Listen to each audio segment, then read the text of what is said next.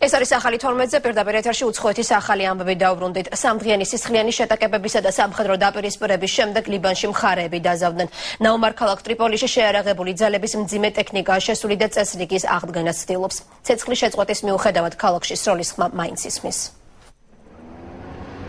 ტრიპოლის ქუჩებში ლიბანელი ჯარისკაცები პატრულირებენ. დაპირისპირებულ მხარეებს შორის სამხედროები ჩადგნენ. ბაშარ ასადის მომხრე ალავიტებმა და მოწინააღმდეგე სუნიტებმა ცეცხლის შეწყვეტის შეთანხმება საღამოს 17 საათსა და 30 წუთზე მიაღწიეს. შეთანხმების მიუხედავად ქალაქში სნაიპერული ბრძოლები მაინც გრძელდება. ბოლო მონაცემებით კონფლიქტის შედეგად 12 ადამიანი დაიღუპა. ტრიპოლში შიშობენ რომ ზავი მყიფეა და საბრძოლო მოქმედებები განახლდება. ჩვენ მოვითხოვთ მშვიდობას, არ გვინდა ომი. მშვიდობიანი ცხოვრება და მუშაობა გსურს. მე მაღაზია მაქვს და მუშაობა მინდა, არ მინდა პრობლემები. ლიბანელები მშვიდობის მოყარე ხალხი ვართ. ლიბანში სიდიდით მეორე ქალაქ ტრიპოლში შეტაკებების შედეგად რამდენიმე საცხოვრებელი სახლი დაინგრა. კონფლიქტის ესკალაციაში მოსახლეობა მთავრობას ადანაშაულებს.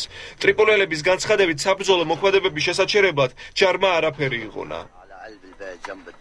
შიტემა ჩვენ სახლებს ცეცხლი გაუხსნეს, ჭურვებსაც ისროდნენ. აფეთქება ჩემ სახლთან ახლოს მოხდა. ჩვენთან ლიბანის არმიის ოფიცრები მოვიდნენ. მათთან დავიჭივლეთ, უამბე თუ რა ჩაიდინეს შიტემა მუსულმანთა დღესასწაულის დროს. ჯარისკაცებმა ყურადღება არ მოგვაქციეს. სახელმწიფოს და არმიას ჩვენი გასაჭირი არ აწუხებს. მეოცე საუკუნის 70-იანი წლების ლიბანში სამოქალაქო ომმა 15 წელს გასტანა. მაშინ ერთმანეთს სუნიტები, შიიტები და ქრისტიანები დაუპირისპირდნენ. კონფლიქტს 150-ზე მეტი ადამიანი ემსხვერპლა. გაერო ირანს ასადის რეჟიმის შეერაღებაში ადანაშაულებს ამ ბრალდებებმა ნიუ-იორკში უშიშროების საბჭოს ხდომაზე გაიჟღერა. თეირანი კატეგორიულად ეწინა აღმდეგება გაეროს იმ რეზოლუციას, რომელიც ირანს ირაღის იარაღის ექსპორტს უკრძალავს და უშიშროების საბჭოს აძლევს უფლებას, რომ დიპლომატიური და ეკონომიკური სანქციები ამოქმედოს. დოკუმენტი გაეროს სამხედრო ინტერვენციის შესაძლებლობასაც უტოვებს. გაეროს უშიშროების საბჭოს წევრებმა სირიაში შექმნილი ჰუმანიტარული სიტუაცია მწვავედ შეაფასეს და ძალადობის ზრდის გამო შეშფოთება გამოთქვეს. after he made. Who? Sorry. Myself the impact of the intensified ქალებისა და ბავშვებისთვის ჰუმანიტარული დახმარების გზების მოსაძებნად გასულ კვირას სირიასა და ლიბანში ვიმყოფებოდი. ბოლოს მარტში ჩემი ვიზიტის შემდეგ ჰუმანიტარული სიტუაცია მკვეთრად გაუარესდა. სირიის მთავრობის მონაცემებით მილიონ 200.000 ადამიანი თავს საზოგადოებრივ შენობებს აფარებს. ბევრი კი ნათესავებსა და მეგობრებთან იმყოფება. სირიის მშვიდობიან მოსახლეობას სასწრაფო ჰუმანიტარული დახმარება ესაჭიროება. ყველაზე დიდ საჭიროებას ჯანდაცვა, თავშესაფრები, სასმელი სარწყაველი წყალი და სანიტარული პირობები წარმოადგენს. კონფლიქტის მონაწილე ორივე მხარეს კიდევ ერთხელ მოვუწოდებ პატივისცემ მშვიდობიან მოქალაქეებს და დაიცვან საერთაშორისო კანონი. ბაშარ ასადის მხარდამჭერების დემონსტრაცია. აქციის სამსახურ კადრებს სახელმწიფო ტელევიზია ავრცელებს პარალელურად ასეთი აქციების ფონზე დამასკოში ალეპოსა და დერაში შეარაღებული დაპირისპირება მაინც გრძელდება. ადამიანის უფლებათა დამცველი ორგანიზაციების მონაცემებით მარტო გუშინ სხერფლის რაოდენობა 250 მიაღწია. დაღუპულთა უმრავლესობა მშვიდობიანი მოქალაქეა მედიის ინფორმაციით სამთავრობო ძალებმა მეამბოხეებს დიდი ოდენობით იარაღი ჩამოართვეს. სახელმწიფო ტელევიზიამ ამის სამსახური ვიდეო კადრებიც გაავრცელა იემენის ქალაქ ადენში მომხდარ თავდასხმაზე პასუხისმგებლობა ალ-ქაიდამ აიღო თავდასხმა რომელიც შაბათს მოხდა 19 ჯარისკაცის მკვლელობით დასრულდა. რამდენიმე ათეულმა ადამიანმა კი სხეულის მძიმე დაზიანებები მიიღო. დაზიანდა ასევე სახელმწიფო დაზვერვისა და ტელევიზიის შენობები.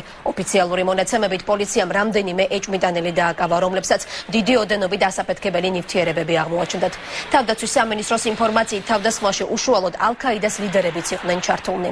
ბოლო თვეების განმავლობაში სამხრეთ იემენში სახელმწიფო დაწესებულებებზე თავდასხმები და იერიში განსაკუთრებულად გახშირდა. გერმანია მოლდოვას ევროკავშირში გაწევრიანებას მხარს უჭერს ამის შესახებ განცხადება გერმანიის კანცლერმა ანგელა მერკელმა კიშინიოვში პრემიერ-მინისტრთან შეხვედრის დროს გააკეთა. მერკელის განმარტებით გერმანია მოლდოვის ხელისუფლებას ევროკავშირის წევრობისთვის საჭირო ყველა რეფორმის გატარებაში დაეხმარება. თავის მხრივ მოლდოვის მთავრობის მეტაურმა განაცხადა, რომ მის ქვეყანას ევროპული კურსი აქვს არჩეული და მიზნის მისაღწევად ყველა საჭირო რეფორმას გაატარებს. ვიზიტის ფარგლებში გერმანიის კანცლერი ქვეყნის პრეზიდენტსა და პარლამენტის სპიკერსაც უნდა შეხვდეს. ევროინტეგრაცია ნაბიჯ-ნაბიჯ ხდება. ნათელია, რომ მოლდოვას ევროპული მომავალი აქვს, მაგრამ ამავე დროს მნიშვნელოვანია პირველი ნაბიჯის გადადგმა, რაც ასოცირებისა და თავისუფალი ვაჭრობის შესახებ შეთანხმებასა და სავიზო რეჟიმის ლიბერალიზაციას გულისხმობს.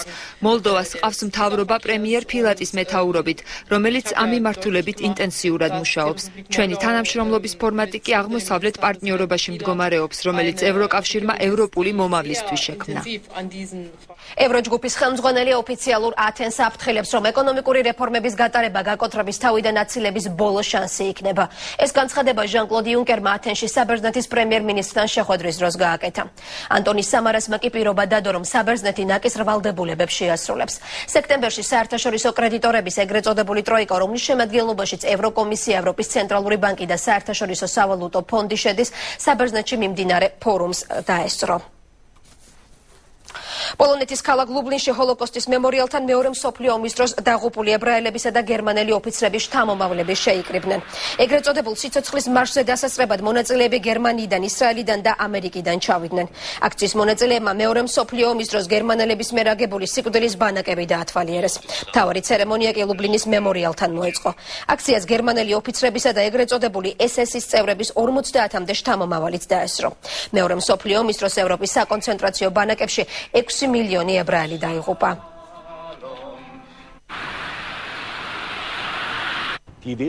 იდეა 2007 წელს დაიბადა. ჩვენი ქალაქიდან ვართ, რომელმაც ნაციონალ-სოციალიზმს დიდი სამსახური გაუწია. ამ ქალაქში ჰოლოკოსტის დროს 300-მდე ჯალათი მოქმედებდა. მათ შორის თეოდორ დანეკერი უნდა გამოვყოთ, რომელიც ადოლფ ეიხმანის მარჯვენა ხელი იყო. თავარი პასუხისმგებლობა ებრაელების დეპორტაციაში სწორედ მათ ეკისრებათ.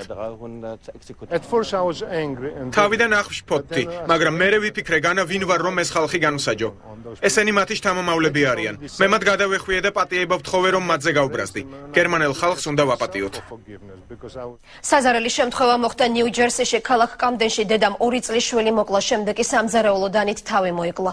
33 წლის შევონ თომასმა თვითმკვლელობამდე პოლიცია გამოიძახა. სამართალდამცველებმა ბავშვის მოკვეთილი თავი საყინულეში იპოვეს. 2 წლის წინ თომასი ბავშვისთვის საფრთხე შექმნის ბრალდებით დააპატიმრეს და შვილზე მეურვეობა ჩამოართვეს, თუმცა 5 თვის წინ მან მეურვეობა დაიბრუნა. გამოძიება მკვლელობის მოტივად ფსიქოლოგიურ პრობლემებს განიხილავს.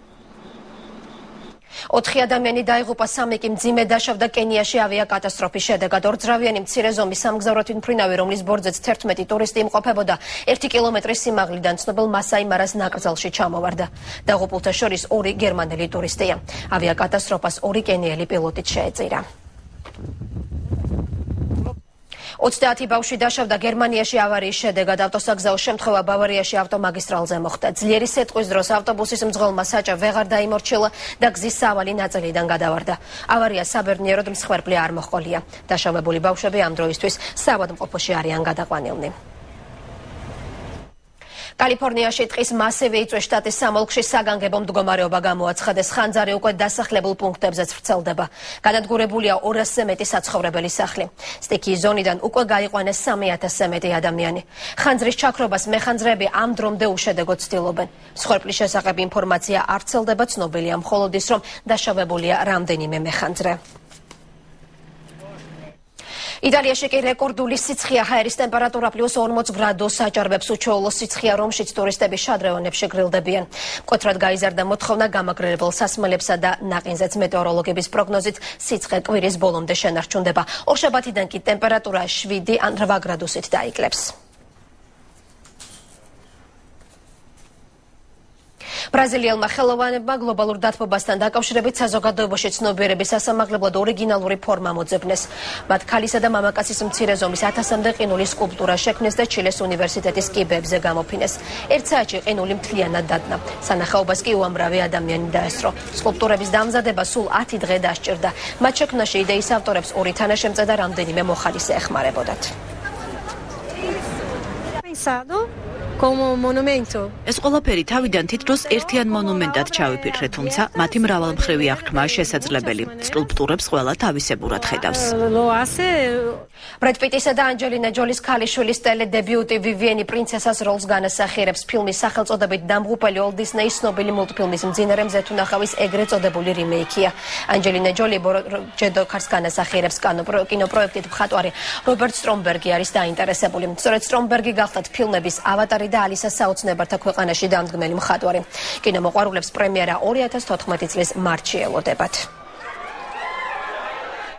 სკანდალი ბრიტანულ სამეფო ოჯახში ინტერნეტში უელსის პრინცის შიშველი ფოტოები გავრცელდა. ბავშვების მეგობართან ერთად პრინცი ჰარი ლას ვეგასში ისვენებდა. სამეფო დასვენების სამსახვალ ფოტომასალასთან ერთად ინტერნეტში ვიდეო კადრებიც არის გავრცელებული. ირკვევა რომ პრინცმა და მისმა მეგობარმა ბილიარდი ითამაშეს და ნიზლავე გაშიშვლება იყო. ჰარი თამაში წააგო და იძულებული გახდა რომ სამოსი გაეხადა. სამეფო ოჯახს ამ ვიდეო კადრებთან დაკავშირებით ჯერ კომენტარი არ გავრცელებია